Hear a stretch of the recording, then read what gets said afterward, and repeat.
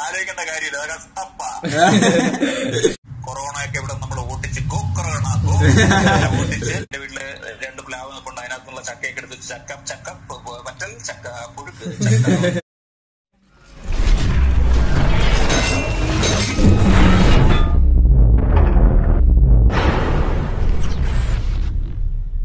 കാസ ബ്ലോഗ്സിലേക്ക് എല്ലാവർക്കും സ്വാഗതം. ഞാൻ കരുൺ ഞാൻ ചരൺ അപ്പൊ ഇന്ന് നമ്മുടെ ലോക്ക്ഡൌൺ വിത്ത് സെലിബ്രിറ്റി സീരീസിലെ നാലാമത്തെ എപ്പിസോഡാണ്.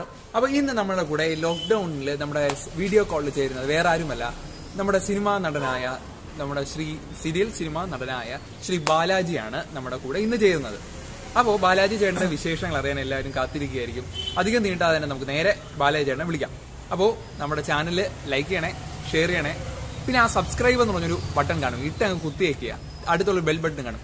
പ്രസ് ചെയ്ത് വയ്ക്കുക വിളിക്കാം അപ്പൊ ഏതായാലും നമുക്ക് ചേട്ടനെ വിളിക്കാം. അപ്പോൾ എല്ലാവർക്കും കാസ ബ്ലോഗ്സിലേക്ക് സ്വാഗതം. ഇന്ന് lockdown with C celebrities part three part ഫോറിൽ നമ്മുടെ കൂടെ ചേരുന്നത് നമ്മുടെ സ്വന്തം ബാലാജി ചേട്ടനാണ്. അപ്പോൾ ചേട്ടാ എങ്ങനെയുണ്ട് ലോക്ക്ഡൌൺ ദിനങ്ങൾ? ചേട്ടനും പതിപോലെ പതിവ് ഷൂട്ടിംഗ് തിരക്കുകളൊക്കെ മാറ്റി വെച്ച് വീട്ടിൽ തന്നെ ഇരിക്കുകയാണ്. അപ്പോൾ എങ്ങനെയുണ്ട് ലോക്ക്ഡൌൺ ദിനങ്ങൾ? ഈ ലോക്ക്ഡൌൺ എന്ന് പറയുന്ന ഒരു സംഭവം നമ്മളുടെ അച്ഛനോ അപ്പൂപ്പനോ അപ്പൂപ്പന്റെ അപ്പൂപ്പനോ പോലും കേൾക്കാത്തൊരു വസ്തുതയാണ്. നമ്മളൊക്കെ നമ്മൾ ഇതുവരെ അങ്ങനെയൊന്നും കഥകളിൽ പോലും കേൾക്കാത്തൊരു സാധനം പെട്ടെന്ന് വന്നപ്പോ നമ്മളൊന്ന് സ്റ്റക്ക് ഡൗൺ ആയിപ്പോയി. കാരണം ഈ ലോക്ക്ഡൌൺ എന്ന് കേട്ട് സ്റ്റക്ക് ഡൗൺ ആയിപ്പോയി. കാരണം നമ്മൾ ഓടിക്കൊണ്ടിരുന്ന ലൈഫിൽ പെട്ടെന്ന് ഒരു ബ്രേക്ക് അടിച്ച പോലെ നമ്മളുടെ ഒരു അവസ്ഥയായിപ്പോയി. പക്ഷേ പക്ഷെ അത് അതിന്റെ ഒരു എന്താ പറയുക നമ്മുടെ മാനസികമായി നമുക്കൊരു ഒരു ഒരു അടി തന്നു എങ്കിൽ പോലും പല നല്ല കാര്യങ്ങളും വീട്ടിലിരുന്ന് നമുക്ക് ചെയ്യാൻ പറ്റി. ഇപ്പോ എന്റെ കൊച്ചു മോൾ എന്റെ മോൾ എന്റെ മോൾ എന്ന് പറയുമ്പോൾ ഒന്നര ഒന്നര ഒന്നേ മുക്കാൽ വയസ്സായിട്ടുള്ളൂ. അവളുടെ കൂടെ കളിക്കാനും അവളുടെ കൂടെ ഇടപെടുകാനും അവൾ ഇത്രയും നോട്ടിയാണെന്നും അവൾ ഇത്രയും വികൃതിയാണെന്നും അവൾ ഇത്രയും മനസ്സിലാക്കാനുള്ള ഒരു അവസരമാണ് അല്ലെങ്കിൽ നമ്മൾ ഷൂട്ടിംഗ് എന്ന് പറഞ്ഞാൽ രാവിലെ തൊട്ട് രാത്രി ഒരു ഓടി നടന്നുകൊണ്ട് ഇടയ്ക്ക് നമ്മൾ എടുത്ത് രണ്ട് ഉമ്മയും വെച്ചിട്ട് വെക്കുന്ന നമ്മൾ. ഇപ്പൊ മനസ്സിലായി അവളുടെ വളർച്ചയുടെ ഓരോ ഓരോ പടവുകളും നമുക്ക് മനസ്സിലാക്കാൻ പറ്റി. പിന്നെ വീട്ടിലിരിക്കുമ്പോ വീട്ടിലിരുന്ന് വീട്ടുകാരികൾ അതായത് ഭാര്യയും അമ്മയും ഒക്കെ എന്തുമാത്രമാണ് അടുക്കളയിൽ ചെലവഴിക്കുന്നത് എന്നുള്ളത് നമുക്ക് മനസ്സിലായി. പിന്നെ വീട്ടിൽ വീട്ടിൽ വലയുള്ള കാര്യപ്പോഴാണ് ഞാൻ അറിഞ്ഞ. വല വല. നമ്മുടെ ഒരു സെർവന്റ് ഉണ്ടെങ്കിൽ പോലും അവർ വലയടിക്കാറില്ല എന്നുള്ള സത്യം മനസ്സിലായി. വലയുണ്ടായിരുന്നു. എനിക്ക് കിട്ടിയ പല ട്രോഫീസും ഈ വലയിൽ കുളിച്ച് കിടക്കുന്ന കണ്ടപ്പോൾ സങ്കടം തോന്നി. അതിനെയൊക്കെ ഒന്ന് പൊടിയൊക്കെ ഒന്ന് എടുത്തു. പിന്നെ കുറെ നല്ല സിനിമകൾ കാണാൻ പറ്റി. കുറെ നല്ല സിനിമകൾ കുറെ നല്ല സീരീസുകൾ നെറ്റ്ഫ്ലിക്സിലും ആമസോൺ പിന്നെ നമ്മുടെ സുഹൃത്തുക്കൾ റെഫർ ചെയ്തിട്ടുള്ള കുറെ ക്ലാസിക് മൂവീസ് ഒക്കെ സ്വസ്ഥമായിട്ടിരുന്ന് കാണാൻ പറ്റി. പിന്നെ അങ്ങനെ കണ്ടുകൊണ്ടിരുന്നപ്പോഴത്തേക്കും വീണ്ടും ഒരു സ്റ്റക്ക് ഡൗൺ പോലെ ഒരു ഇടിപ്പിന്നൽ വന്ന് എന്റെ അമ്പത്തഞ്ച് ഇഞ്ചിന്റെ ടി വി അടിച്ചു പോയി അടിച്ചു പോയി. അപ്പോ ലാപ്ടോപ്പിൽ ഒരിക്കലും കാണാൻ ഇഷ്ടമില്ല ഞാൻ ലാപ്ടോപ്പിൽ കണ്ടു തുടങ്ങി. അങ്ങനെയും ചില മാറ്റങ്ങൾ ഉണ്ടായി അങ്ങനെ ഈ ലോക്ക്ഡൌൺ എന്ന് പറയുമ്പോഴത്തേക്കും അങ്ങനെ എന്താ പറയുക പിന്നെ വീട്ടിൽ കുറെ കാര്യങ്ങൾ അതായത് നമ്മുടെ ബാക്കിൽ കുറച്ച് സ്ഥലമുണ്ട്. കുറച്ച് സ്ഥലം. ഒരു അഞ്ച് നാല് സെന്റ് സിറ്റിയിൽ തന്നെ നാല് സെന്റ് കുറച്ച് സ്ഥലമുണ്ട്. അവിടെ കുറച്ച് എന്താ പറയുക തെങ്ങൊക്കെ നിൽപ്പുണ്ടായിരുന്നു അപ്പൊ തെങ്ങിനൊക്കെ വെള്ളം ഒഴിക്കേണ്ട ആവശ്യമുണ്ട് എന്നുള്ള സത്യം മനസ്സിലാക്കി. ഒരുപാട് സത്യങ്ങൾ മനസ്സിലാക്കി തന്നെ ഈ ഒരു ലോക്ക്ഡൌൺ സമയം പിന്നെ ചെടി ചെടികൾ ചെടികൾക്ക് വെള്ളം ആവശ്യമാണെന്നുള്ള സത്യം മനസ്സിലാക്കി. അതായത് വീട്ടിലിരുന്ന് കുറെ കാര്യങ്ങൾ ഇങ്ങനെയൊക്കെ സംഭവങ്ങൾ വലിയ വലിയ കാര്യങ്ങൾ വേണ്ടി ഓടിക്കൊണ്ടിരുന്ന നമ്മൾ ചെറിയ ചെറിയ കാര്യങ്ങളിൽ സന്തോഷം കണ്ടെത്താൻ തുടങ്ങി. അതായത് ലോക്ക്ഡൌൺ ആയതിനു ശേഷം ഒന്ന് ഞാൻ ആഗ്രഹിക്കും എപ്പോഴും എന്നാണ് ഭാര്യയുടെ ഒരു ലിസ്റ്റ് തരിക. കുറെ സാധനങ്ങൾ മാറ്റേണ്ടി വരണം എന്ന് പറഞ്ഞിട്ട്. കാരണം ഒന്ന് പുറത്തിറങ്ങാമല്ലോ ആ പേര് അങ്ങനെ അങ്ങനെ പുറത്തിറങ്ങാൻ പുറത്തിറങ്ങുമ്പോൾ ഒരു സന്തോഷം. കാർ ഡ്രൈവ് ചെയ്ത് അവിടം വരെ ഒരു ഒരു മലക്കറിക്കട വരെ പോയിട്ട് മലക്കറിക്കര അവിടെ നിന്ന് കുറെ നേരം മലക്കറിയൊക്കെ നോക്കിയെടുത്ത് വാങ്ങിക്കുമ്പോൾ ഉണ്ടാവുന്ന സന്തോഷം. അങ്ങനെ കുറെ സന്തോഷങ്ങൾ അനുഭവിക്കാൻ പറ്റി. കൊച്ചു കൊച്ചു സന്തോഷങ്ങൾ അത് വലിയ വലിയ സന്തോഷങ്ങളാണെന്നുള്ള സത്യം മനസ്സിലാക്കാൻ പറ്റി. വീട്ടിന്റെ വീട്ടിലുണ്ടാക്കുന്ന ആഹാരത്തിന്റെ രുചി. വീട്ടിൽ ഇപ്പൊ പറഞ്ഞ പോലെ ചക്ക ചക്കയൊക്കെ ഭയങ്കര ഡിമാൻഡാണ് ഇപ്പൊ. അപ്പൊ എന്റെ വീട്ടിൽ രണ്ട് പ്ലാവ് നിൽപ്പുണ്ട് അതിനകത്തുള്ള ചക്കയൊക്കെ എടുത്ത് ചക്ക ചക്ക മറ്റൽ ചക്ക പുഴുക്ക് ചക്ക. ഷേക്കാണ് ഇപ്പൊ ട്രെൻഡ് ചക്കക്കുരു. വെറൈറ്റീസ് എല്ലാം ചക്കയായി. അതൊക്കെ കഴിച്ച്. അതൊക്കെ കഴിച്ച്. അങ്ങനെ മൊത്തത്തിൽ ചക്കയാവായിരുന്നാ മതി. ആരാണ്ട് ഒരു തമാ തമാശക്ക് പറഞ്ഞ പോലെ ലോക്ക്ഡൌണിന് പുറത്തു പോകാൻ പുറത്തു പോരുത് പുറത്തു പോരുത് നമ്മൾ പുറത്തു പോരുത് പുറത്തു പോരുതെന്ന് നമ്മളോട് ലോക്ക്ഡൌണിൽ ഗവൺമെന്റ് പറയുന്നത് പക്ഷേ നമ്മുടെ വയറത് കേൾക്കുന്നില്ല. വയറ് പുറത്തോട്ട് പുറത്തോട്ട് വന്നോണ്ടിരിക്കുകയാണ്. ആ ഒരു അവസ്ഥയിലോട്ടെത്തി. അതെ അതെ. അങ്ങനെയൊക്കെ പോകുന്നു. അപ്പം ചേട്ടാ അടുത്ത് ഞാൻ നമ്മുടെ ചേട്ടന്റെ ഷോർട്ട് സ്റ്റോറിയുടെ കാര്യം തന്നെ പറയാം. ചേട്ടൻ ഇപ്പോൾ ഈ ലോക്ക്ഡൌൺ സമയത്ത് ഇരുന്ന് ചെയ്ത ഒരു ഷോർട്ട് ഷോർട്ട് ഫിലിം ഞാൻ കണ്ടു. ഒരു ഇന്റർനാഷണൽ ലോക്ക്ഡൌൺ സ്റ്റോറി അതെ. ഇന്റർനാഷണൽ ലോക്ക്ഡൌൺ സ്റ്റോറി അതിന്റെ ലിങ്ക് ഞങ്ങൾ എന്തായാലും ലിങ്ക് ഞങ്ങൾ ഡിസ്ക്രിപ്ഷനിൽ ഇടുന്നതാണ്. നിങ്ങൾക്കും കാണാം. ഞങ്ങളെ പ്രേക്ഷകർക്കും കാണാം. അതിനുവേണ്ടി ലിങ്ക് ഞങ്ങൾ ഡിസ്ക്രിപ്ഷനിൽ ഇടും. നല്ലൊരു ഷോർട്ട് ഫിലിമാണ് ഞാൻ ഇത് കണ്ടു. വളരെ നല്ലൊരു കണ്ടന്റ് തന്നെയാണ് ചേട്ടാ. ഞാൻ കണ്ടായിരുന്നു. ഓക്കെ. വളരെ നല്ലൊരു കണ്ടന്റ് തന്നെയാണ്. നല്ലൊരു ആശയമുണ്ട് അതിന്. അത് അതായത് ഈ ഒരുപാട് ആൾക്കാര് ഈ ലോക്ക്ഡൌൺ ആയപ്പോ മുതൽ ആദ്യം മുതൽ അന്വേഷിക്കുന്നത് ഗവൺമെന്റിന് പൈസ കിട്ടുന്ന ഗവൺമെന്റ് നമുക്ക് പൈസ തരാൻ സാധിക്കുന്ന ഒരേ ഒരു സ്ഥാപനമേ ഉള്ളൂ എന്ന് പറഞ്ഞിട്ട് കുറെ ആൾക്കാർ പറയുന്നുണ്ട്. ബ്രേവറേജസ് കോർപ്പറേഷൻ അപ്പൊ അത് അടച്ചപ്പം അത് അടച്ചപ്പെടുത്തി സ്റ്റക്ക് ഡൗൺ ആയി മെന്റലി ബ്രേക്ക് ഡൗൺ ആയ ഒരുപാട് പേര് എനിക്കറിയാം. അപ്പൊ ഇത് ഇത് വെച്ചിട്ട് ഇവരിങ്ങനെ അന്വേഷണത്തിലാണ് സാധനം എങ്ങനെയെങ്കിലും കിട്ടുമോ എന്നുള്ള അന്വേഷണം. അപ്പൊ അങ്ങനെയൊക്കെ ആലോചിച്ചപ്പോഴത്തേക്ക് ഞാൻ ആലോചിച്ചു നമ്മുടെ സുഹൃത്തുക്കളെല്ലാം വെച്ചിട്ട് വളരെ ലൈറ്റ് ആയിട്ട് ചെയ്യാൻ പറ്റുന്ന ഒരു സബ്ജക്റ്റ് ആയിരിക്കണം എന്ന് വിചാരിച്ചിട്ട് അങ്ങനെ ഒരു ഒരു തോട്ട് മനസ്സിൽ വരികയും അപ്പൊ ഓരോരുത്തർക്കും ആരും അഭിനയിച്ചിട്ടൊന്നുമില്ല. ആർക്കും അതിനെ ഫോൺ മൊബൈൽ ക്യാമറയിൽ സെൽഫി പോലും എടുക്കാത്ത ആൾക്കാരാണ്. അതിനകത്ത് അറിയാം അവരെ കൊണ്ട് അവരെ കൊണ്ട് ഒരെണ്ണം ചെയ്യിപ്പിക്കാന്നുള്ള ഒരു ഒരു ചലഞ്ച് ഞാൻ ഏറ്റെടുത്തു. പക്ഷെ എല്ലാവരും ഉൾപ്പെടുത്തേം വേണം. അതായത് നമ്മളൊരു സിനിമ അല്ലെങ്കിൽ ഒരു ഷോർട്ട് ഫിലിം അല്ലെങ്കിൽ ഒരു നാടകം അല്ലെങ്കിൽ ഒരു സീരിയൽ ചെയ്യുമ്പോൾ നമ്മളുടെ മനസ്സിൽ ഒരു കഥ ഉണ്ടാവുകയും ആ കഥയ്ക്കനുസരിച്ചിട്ടുള്ള കഥാപാത്രങ്ങളെ നമ്മൾ കണ്ടെത്തുകയും അങ്ങനെയാണല്ലോ എന്റെ പരിപാടി. ഇത് നേരെ തിരിച്ചാണ്. ആക്ടേഴ്സ് ഒക്കെ ആദ്യം റെഡിയാണ് ഞങ്ങളെല്ലാവരും ഉൾപ്പെടുത്തണം. എല്ലാവരും വേണം അതിനകത്ത്. നിങ്ങളൊരു കഥ ഉണ്ടാക്കി നമ്മളെല്ലാവരും ഉൾപ്പെടുത്തി ഒരു സാധനം ചെയ്യണം എന്ന് പറഞ്ഞിട്ടാണ് വന്നത്. അപ്പോ അത് ഒരു ചലഞ്ച് പോലെ എനിക്ക് തോന്നി. അപ്പൊ ഞാൻ വിചാരിച്ചു അതിനകത്തൊരു ഫണ്ണും ഉണ്ട്. അപ്പൊ കണ്ടുകൊണ്ടിരിക്കുമ്പോൾ ആൾക്കാർക്ക് ബോറടിക്കാനും പാടില്ല. രസം വേണം. ഓരോരുത്തർക്കും അവരുടെ രീതിയിൽ അവരെ തന്നെ അവരുടെ തന്നെ പേര് വിളിച്ചിട്ടാണ് എല്ലാവരും കൊണ്ട് അഭിനയിപ്പിച്ചിരിക്കുന്നത്. എല്ലാവരും ഓരോരോ പേര് തന്നെയാണ്. അപ്പൊ പിന്നെ അവർക്ക് അത് അഭിനയിക്കാണെന്ന് തോന്നില്ല ഒരു സെൽഫി വീഡിയോ എടുത്ത് തരുന്ന പോലത്തെ ലാഘവത്തിൽ വേറെ ആൾ കൊണ്ട് ഒന്ന് ഷൂട്ട് ചെയ്യിപ്പിച്ചിട്ട് ഒരു ഹൊറിസോണ്ടൽ ലാൻഡ്സ്കേപ്പിൽ ക്യാമറ വെച്ചിട്ട് ചെയ്ത് ഷൂട്ട് ചെയ്ത് ഞാൻ പറഞ്ഞു കൊടുക്കും ഇന്ന പറഞ്ഞാൽ മതി. അപ്പൊ അത് പറയുമ്പോൾ ഞാൻ മറുപടി പറഞ്ഞു കൊടുക്കും. മറുപടി പറഞ്ഞു കൊടുക്കുമ്പോൾ അവർ അത് കേട്ടിട്ട് ഇന്ന പോലെ പറയാൻ പറയും. അങ്ങനെ അങ്ങനെ പറഞ്ഞു പറഞ്ഞ് അവർക്കൊന്നും മനസ്സിലായിട്ടില്ല എന്താണ് കഥ ഒരു പിടുത്തവും കിട്ടാതെ. അവസാനം എല്ലാം കൂടെ ചേർന്ന് കോർത്തിണക്കി ഒരു കഥയാക്കിയപ്പോ അവർക്കൊക്കെ ഭയങ്കര സന്തോഷമായി. അപ്പൊ ആദ്യം എനിക്കൊരു ഒരു ചെളുപ്പുണ്ടായിരുന്നു. കാരണം ഇത് സംഭവം നന്നായി വരുമോ ഇതിൽ ഞാൻ എന്നെ പോലെ സിനിമയുമായി ബന്ധപ്പെട്ട് നിൽക്കുന്ന ഒരാൾ ചെയ്യുമ്പോഴത്തേക്കും അതൊരു മോശം പേര് വരുമോ എന്നൊക്കെ പറഞ്ഞിട്ടൊരു ഒരു ഒരു സങ്കോചവും ഒക്കെ ഉണ്ടായിരുന്നു. പിന്നെ എഡിറ്റ് ചെയ്ത് കുറച്ച് കോർത്തിണക്കിയപ്പോഴത്തേക്കും വലിയ കുഴപ്പമില്ലാന്ന് തോന്നി. പിന്നെ അത്യാവശ്യം ടൈറ്റിലിങ്ങും കുറച്ച് മോടി പിടിപ്പിച്ച് ഒരു ഇതൊക്കെ കൊടുത്തു കഴിഞ്ഞപ്പോൾ ഞാൻ വിചാരിച്ചു കുഴപ്പമില്ല. അപ്പൊ പിന്നെ കണ്ട് രണ്ടു മൂന്ന് എന്റെ സിനിമാ സുഹൃത്തുക്കൾ കണച്ചു വരുന്ന നല്ല രസമുണ്ട് അടിപൊളിയാണെന്ന് പറഞ്ഞു. അപ്പൊ പിന്നെ ഞാൻ വിചാരിച്ചു ഓക്കെ. എന്നാ പിന്നെ യൂട്യൂബ് റിലീസ് ചെയ്ത് നോക്കാന്ന് പറഞ്ഞാൽ അങ്ങനെ ചെയ്തതാണ്. നന്നായിട്ടുണ്ട്. എന്തായാലും ചെയ്യേണ്ട സിനിമയുടെ എനിക്ക് ആ ഒരു കണ്ടന്റും ഈ ഒരു സമകാല ഈ ഒരു ഇപ്പൊ എന്താ പറയുക ലോക്ക്ഡൌൺ സമയത്തുള്ള ആ, ഒരു ആശയവും എനിക്ക് നന്നായിട്ട് ഇഷ്ടപ്പെട്ടു. അതുകൊണ്ട് തന്നെ ഞങ്ങൾ അത് ഞങ്ങളുടെ ഡിസ്ക്രിപ്ഷനിൽ ഇടും കാര്യം ബാക്കിയുള്ളവർ കാണേണ്ടത് തന്നെയാണ്. ആ രീതിയിൽ എടുത്തിട്ടുള്ളത് കൊണ്ട് തീർച്ചയായിട്ടും വളരെ സന്തോഷം. ഇത് നിങ്ങൾ നിങ്ങളുടെ യൂട്യൂബ് ലിങ്കിൽ ഇടുക. കുറെ ആൾക്കാര് ഇത് കണ്ടിട്ട് അതിന്റെ അഭിപ്രായങ്ങൾ താഴെയുള്ള കമന്റ്സിൽ തീർച്ചയായിട്ടും വരിക. എന്നെ നേരിട്ട് വിളിച്ചും അല്ലെങ്കിൽ എന്റെ ഫേസ്ബുക്ക് പേജിന്റെ എന്റെ മെസ്സേജ് ഇൻബോക്സിലും ഒക്കെ നിങ്ങളുടെ അഭിപ്രായങ്ങൾ പറയണം. തെറ്റുകളും കുറ്റങ്ങളും കുറവുകളും പറയുന്നതോടൊപ്പം നന്മയുണ്ടെങ്കിൽ അതും പറയുക. ഒന്ന് മനസ്സിലാക്കേണ്ടത് ഒന്ന് മനസ്സിലാക്കേണ്ട എല്ലാവരും റോ ആൾക്കാരാണ്. അവരെ വെച്ചിട്ട് എനിക്ക് ചെയ്യാൻ പറ്റുന്ന രീതിയിൽ ചെയ്തു ഒരു സാധനം ഉണ്ടാക്കി ചെയ്തു എന്നുള്ളതേ ഉള്ളൂ.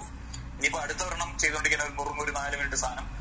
അതും ഞാൻ നമ്മുടെ എന്റെ പേജിലൂടെ ഇടുന്നതായിരിക്കും പിന്നെ ലോക്ക്ഡൌണിൽ ഞാൻ ഈ തൊപ്പിയിട്ടോണ്ടിരിക്കുന്നതിന്റെ രഹസ്യം നിങ്ങൾ ചോദിക്കും എനിക്ക് മനസ്സിലായി ഞാൻ ഷോർട്ട് ഫിലിം കണ്ടായിരുന്നു ഷോർട്ട് ഫിലിം കണ്ടായിരുന്നു അർദ്ധരാത്രി- കുട പിടിക്കാൻ വേണ്ടിയിട്ടുള്ള ഒരു ലക്ഷണമാണല്ലോ എന്ന് ചോദിക്കും അതൊന്നുമല്ല സംഭവം മുടി വെട്ടാൻ മുടി മുടി വളർന്നു വളർന്ന് പന്തലിച്ച് പോകും മുടിവെട്ടുകാരന്റെ കടയില്ല എന്ന് വന്നപ്പോഴത്തേക്ക് മുടിവെട്ടുകാരനെ വീട്ടിൽ വിളിച്ചിട്ട് ഒരു അടിയും കടിച്ചു നമ്മുടെ മുടിവെട്ട് നിന്ന കട അവിടെ അടുത്തുള്ള ഒരു പുള്ളിയെ വിളിച്ചിട്ട് ഞാൻ പറഞ്ഞു നിങ്ങൾക്ക് ഞാൻ ഒരു അവസരം തരികയാണ് ഒരു സെലിബ്രിറ്റിയുടെ മുടി അടിക്കാനുള്ള ഒരു അവസരം തരികയാണ് എന്ന് പറഞ്ഞിട്ട് പുള്ളിയെ വീട്ടിൽ വിളിച്ചിട്ട് ചെയ്ത ഒരു സംഭവമാണ്. അപ്പൊ അതുകൊണ്ട് ഇത് ഒരു എന്താ പറയുക ഒരു നമുക്കൊരു വെറൈറ്റി ഒരു ഒരു സമയം നമുക്ക് മുടിമുട്ടയടിക്കാനും കൂടെ ഒരു അവസരം തന്നതിനെ ഞാൻ കൊറോണ ഭഗവാനെ തൊഴുന്നു ചേട്ടാ അപ്പം ഇനി ഒരു കുറെ നാളായി നമ്മുടെ പല മലയാള സിനിമയിൽ തന്നെ കേട്ടു നിൽക്കുന്ന ഒരു ചോദ്യമാണ്. ബാലാജി എന്നൊരു നടൻ മലയാള സിനിമയുടെ ഭാഗ്യ ഘടകമായി മാറിക്കഴിഞ്ഞു. നമ്മുടെ അമർ അക്ബർ ആന്റണി ഒപ്പം ദൃശ്യം തുടങ്ങിയ സിനിമകളിൽ ചെറിയൊരു വേഷമാണെങ്കിൽ പോലും ചേട്ടൻ തല കാണിച്ചാൽ ആ സിനിമ ഹിറ്റാകും എന്നൊരു കൺസെപ്റ്റിലേക്ക് മലയാള സിനിമ എത്തിയിരിക്കുന്നു. എന്ത് തോന്നുന്നുണ്ട് ചേട്ടാ ഈ ഒരു അവസരത്തിൽ? അത് ഇതെന്നറിയാം? ഇത് എന്റെ ഭാഗ്യമായിട്ടേ ഞാൻ കണക്കാക്കുന്നുള്ളൂ ഇത് മലയാള സിനിമ ആ സിനിമയുടെ ഭാഗ്യമല്ല.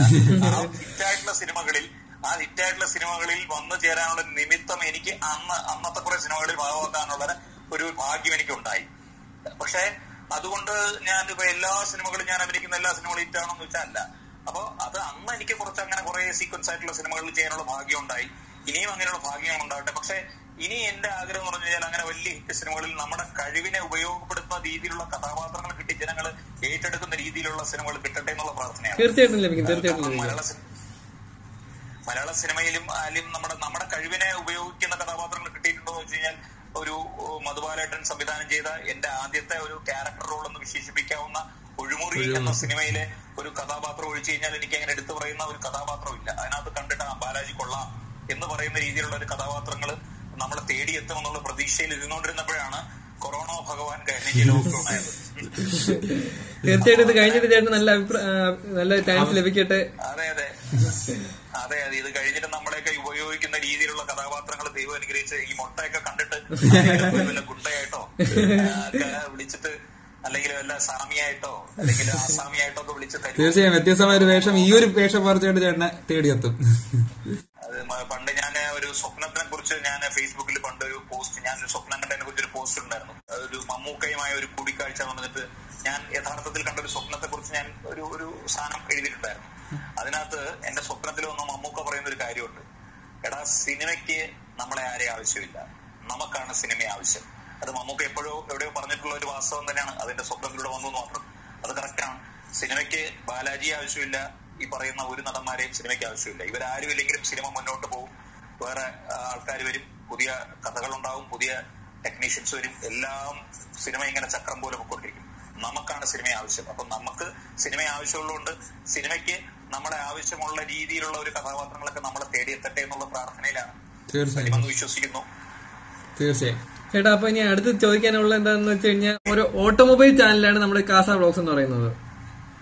ഓട്ടോമൊബൈൽ ചാനലാണ്.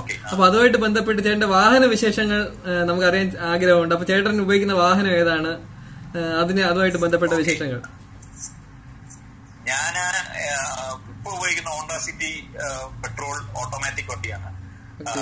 ഹോണ്ട സിറ്റി വളരെ നിങ്ങൾക്ക് എല്ലാവർക്കും അറിയാം വളരെ ഒരു എന്താ പറയുക ഒരു സെഡാനിലെ ഒരു ഒരു ഡീസന്റ് വെഹിക്കിൾ ആണ് ഞങ്ങളുടെ വണ്ടി അത് തന്നെയാണ്. ആ വണ്ടികൾ ഉപയോഗിക്കുന്നത്. സത്യം. അതെല്ലാരും പറയുന്ന ഒരു കാര്യമാണ്. മാന്യന്മാരാണ് ആ വണ്ടി ഉപയോഗിക്കുന്നത് ടെസ്റ്റ് ഡ്രൈവിൽ മാന്യന്മാരുടെ വെഹിക്കിളാണ് അപ്പൊ ഞാൻ ഞാൻ മാന്യനാവാൻ വേണ്ടിയിട്ടുള്ള ഒരു ശ്രമത്തിന്റെ ഭാഗത്തിൽ വാങ്ങിച്ചത് എനിക്ക് ഭയങ്കര ഇഷ്ടപ്പെട്ടു.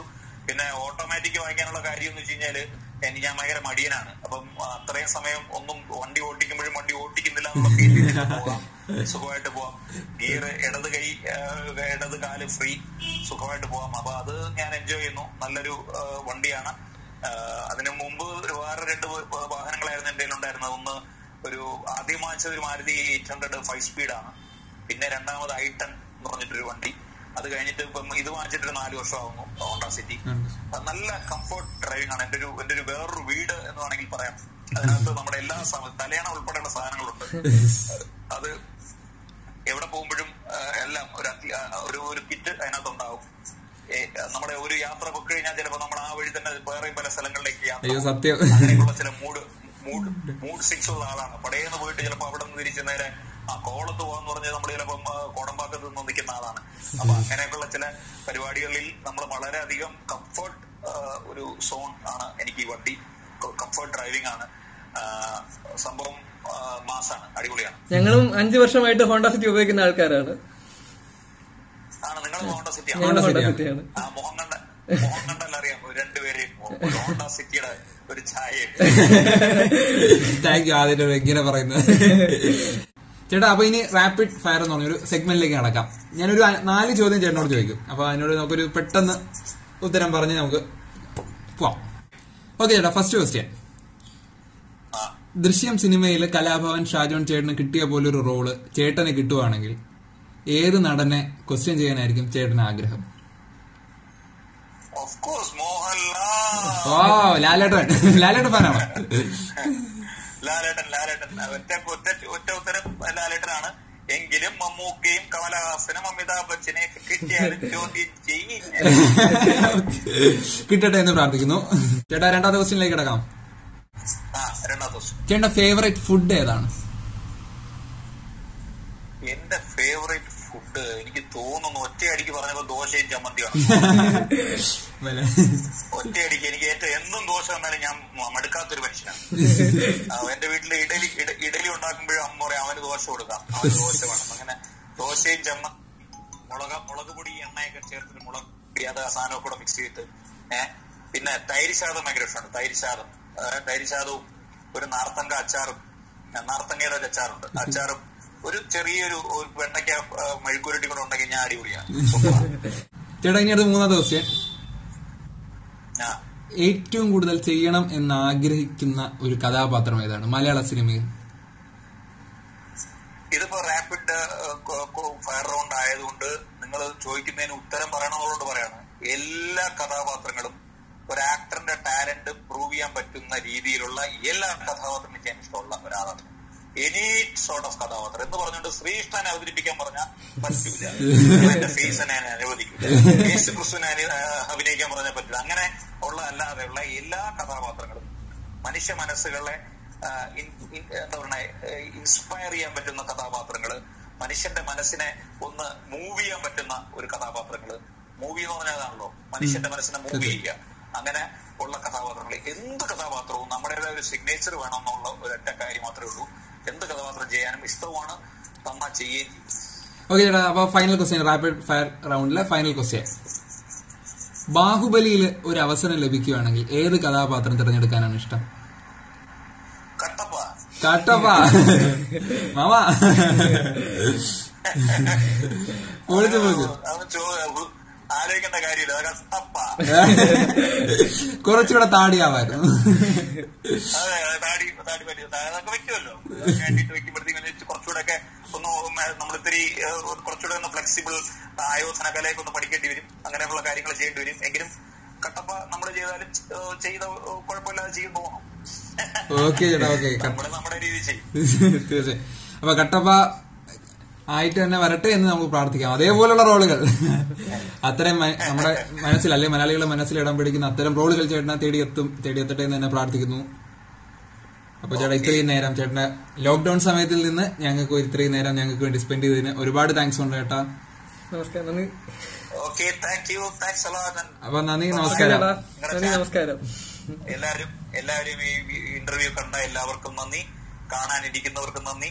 ഈ ലോക്ക്ഡൌൺ ഒക്കെ കഴിഞ്ഞ് കൊറോണ ഒക്കെ ഇവിടെ നമ്മൾ ഓട്ടിച്ച് ഗോ കൊറോണ ഓട്ടിച്ച് നമ്മൾ സമാധാനമായിട്ട് പുറത്തിറങ്ങാൻ പറ്റട്ടെ നമുക്ക് പഴയതുപോലെ കാര്യങ്ങളിലേക്ക് കടക്കാൻ പറ്റട്ടെ നമുക്ക് നമ്മുടെ ജോലികൾ ചെയ്യാൻ പറ്റട്ടെ ആരോഗ്യമുള്ള നല്ല മനസ്സുള്ള നന്മകൾ ചെയ്ത് നമ്മുടെ തിരിച്ചറിവിനുള്ള ഒരു കാലമായിരുന്നു ഇത്. നല്ല തിരിച്ചറിവ് വന്ന് നമുക്ക് നന്നായി ജീവിക്കാനുള്ള ഒരു അവസരം ഉണ്ടാവട്ടെ എന്ന് പ്രാർത്ഥിക്കുന്നു.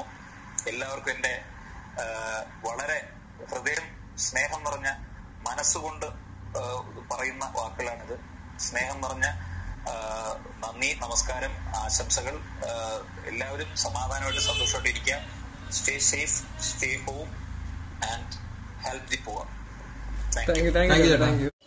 അപ്പൊ നമ്മുടെ കൂടെ ഇത്രയും നേരം ലോക്ക്ഡൌൺ വിശേഷങ്ങൾ പങ്കിട്ടത് നമ്മുടെ പ്രിയപ്പെട്ട ബാലാജി ചേട്ടനാണ്. അപ്പൊ ആ ഈ ഒരു എപ്പിസോഡ് നല്ലൊരു എപ്പിസോഡ് ആയിരുന്നു കാണുമെന്ന് ഞങ്ങൾ വിചാരിക്കുന്നു. കാര്യം ചേട്ടൻ നല്ല നല്ല ഒരു അടിപൊളിയായിരുന്നു റാപ്പിഡ് ആയിരുന്നു നല്ല ഇന്ററാക്റ്റീവ് സെഷൻ ആയിരുന്നു നമ്മൾ റാപ്പിഡ് ഫയർ ക്വസ്റ്റ്യനും എല്ലാം കൊണ്ടും എന്റർടൈൻമെന്റും ഇന്ററാക്റ്റീവ് ആയിരുന്നാണ് ഞങ്ങൾ വിശ്വസിക്കുന്നു. നിങ്ങൾക്ക് ഇഷ്ടപ്പെട്ട് കാണുമെന്നും വിശ്വസിക്കുന്നു. അപ്പൊ വീഡിയോ ഇഷ്ടപ്പെട്ട ലൈക്ക് ചെയ്യുക ഷെയർ ചെയ്യുക സബ്സ്ക്രൈബ് ചെയ്യുക. ചാനൽ സബ്സ്ക്രൈബ് ചെയ്യുക. ഇത്തരം വീഡിയോകൾ ഞങ്ങൾ ഈ ഒരു സീരീസ് ഞങ്ങൾ കണ്ടിന്യൂ ചെയ്തുകൊണ്ടിരിക്കും. പിന്നെ നിങ്ങൾക്ക് ബോറടിക്കാതിരിക്കാൻ വേണ്ടി ഇടയ്ക്ക് ചിലപ്പോൾ വേറെ ഒരു വീഡിയോയും ഇടുന്നതായിരിക്കും. ചിലപ്പോൾ കുക്കിംഗ് ആയിരിക്കും. അങ്ങനെ വരാതെ അപ്പോൾ നമുക്കിനി അടുത്ത എപ്പിസോഡ് കാണാം. ഇതേപോലൊരു വീഡിയോ ആയിട്ട്. ഓക്കെ അപ്പോൾ അടുത്ത എപ്പിസോഡ് കാണുന്നവരെ it's bye from Sharan. And Karun stay safe stay home